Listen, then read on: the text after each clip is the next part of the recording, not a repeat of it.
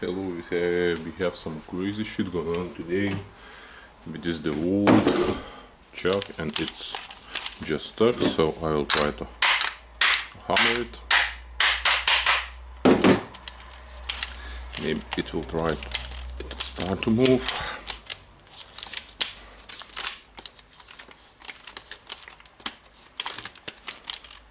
No, no, it seems like.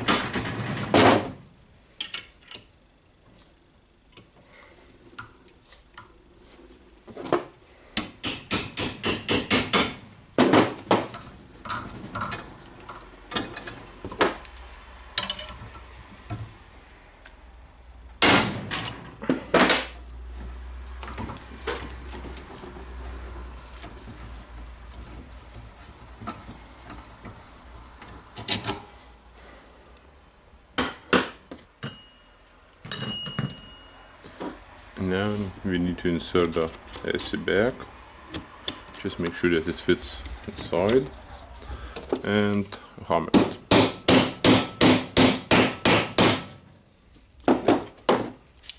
So we have the anvil in.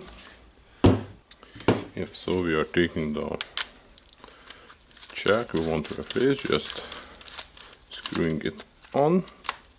And second thing what we can do is the take the allen key tighten it and just tie the chuck harder